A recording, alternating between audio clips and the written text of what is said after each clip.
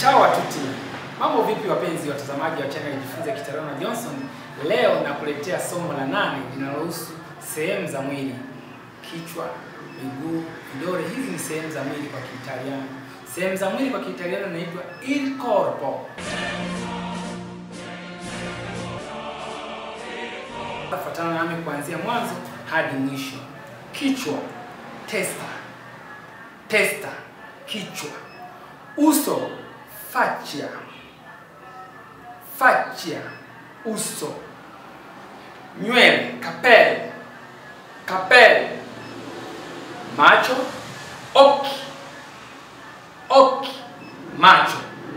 Eh? Masikio, oleke, oleke, masikio. Pua, nazo. Nazo. Hiyo ni pua. Shingo, kolo.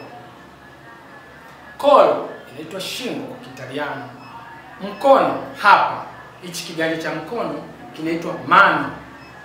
Mano ni kiganja cha mkono, lakini unapotaka kusema mkono huu unasema braccio. Braccio, mkono. Mguu unaitwa gamba. Mguu unaitwa gamba. Kidole, hichi kidole kimoja kinaitwa dito. Dito. Lakini vidole vya mkono vinaitwa dita de la mano. Vidole vya mkono dita de la mano. Hivi ni vidole vya mkono. Unapotaka kusema mdomo tunasema boka. Boka, mdomo. Moyo unaitwa cuore. Moyo. Cuore, moyo hapa sehemu za moyo. Mfupa tunasema osso. Osso, mfupa. Goti ile hapa sehemu ya goti tunasema ginocchio. Goti. Ginocchio, goti. Goti moja lakini. Hmm? Jino tunasema dente. Dente. Na hii koo hapa inaitwa gola. Gola.